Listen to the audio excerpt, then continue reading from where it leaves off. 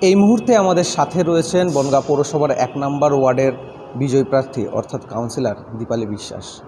আমরা তার মুখ থেকেই শুনে নেব জেতার পর তিনি কি কি কাজ করবেন এবং এই যে, এই জয় কাকে উৎসর্গ করবে। প্রথমে আমি নিউজ লোমানল্যান্ড স- সকলকে আমি আন্তরিক শুভেচ্ছা জানাচ্ছি এক নম্বরের পক্ষ থেকে। আমাদের প্রথম কাজ হচ্ছে প্রত্যেক বাড়ি বাড়ি গিয়ে তাদের সুখ দুঃখের সাথী হওয়া, তাদের কাছ থেকে অনেক কিছুই জানতে পারছি যে তাদের ড্রেনের যে সমস্যা আছে, ড্রেনের ঢাকনার যে সমস্যা আছে, সেগুলো করা, কাঁচা বাড়িগুলো যেগুলো রয়েছে তারা, সেগুলো আমরা হাউস ফরালের মাধ্যমে সেগুলোকে পাকা করে দেব।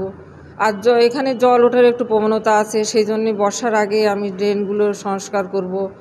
আর প্রত্যেককে যেভাবে আমাদের সাথে এগিয়ে এসছে তারা তাদেরকে সুখ দুঃখের আমি সাথী হতে চাই। আগামী দিন তাদের সাথে থেকে আমি আগামী দিন সমস্ত কাজগুলো করব এগিয়ে নিয়ে যাব। এই জয় কাকে উৎসর্গ করছে? এই জয় প্রথমেই আমি মাননীয় মুখ্যমন্ত্রী মমতা ব্যানার্জিকে এই জয়টা উৎসর্গ করছি। আর উৎসর্গ করছি এক নাম্বার ওয়ার্ডের কোঅর্ডিনেটর ছিলেন আমাদের বিশ্বজিৎ দাস ওনাকে। আর এক নাম্বার ওয়ার্ডের সমস্ত নাগরিক যারা এই ভোট দিয়ে জিতিয়েছে আমা তাদেরকে উৎসর্গ করছি। কারণ তারা সুখে দুঃখে সব সময় সৈনিকের মতো লড়াই করে গেছে আমাদের সাথে। এই লড়াইটা যদিও সোজা একটা ছিল না, তবুও তাদের উৎসাহে, তাদের তারা যেভাবে সহযোগিতা করেছে, আমরা এই জয়টা আনতে পেরেছি। আপনি তো বিগত পাঁচ বছর তিন নম্বর ওয়ার্ডের কাউন্সিলর ছিলেন। সেক্ষেত্রে কি কিছুটা অভিজ্ঞতা এখানে কি ভোটে দাঁড়ানোর পর কাজে লাগল? হ্যাঁ নিশ্চয়ই অভিজ্ঞতা কাজে লেগেছে, কারণ ওখানে আমি পাঁচ বছর ছিলাম। ওখানে আমি অনেক কাজ করেছি।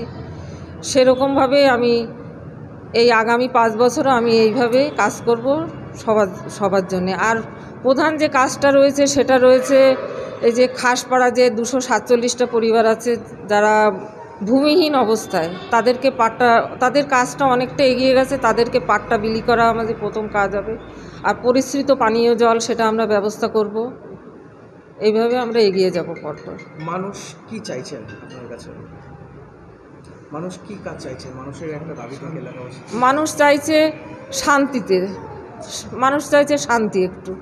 তাদের প্রথমেই দাবি ছিল আমরা ভোট চাইতে গেছি তাদের দাবি ছিল আমরা এবার নিজের ভোট নিজে দিতে পারব তো। আমরা তাদেরকে আশ্বাস দিয়েছিলাম নিশ্চয়ই এবার আমরা সেইভাবেই ব্যবস্থা করব যাতে নিজের ভোটটা নিজে দিতে পারে। আমরা শুনলাম দীপালি বিশ্বাস কি বললেন। তিনি তার জয় সাধারণ মানুষকে উৎসর্গ করলেন। ক্যামেরায় সায়ন চক্রবর্তীর সাথে আমি Sabyasachi Bhattacharya, news no man's land, Bongaon.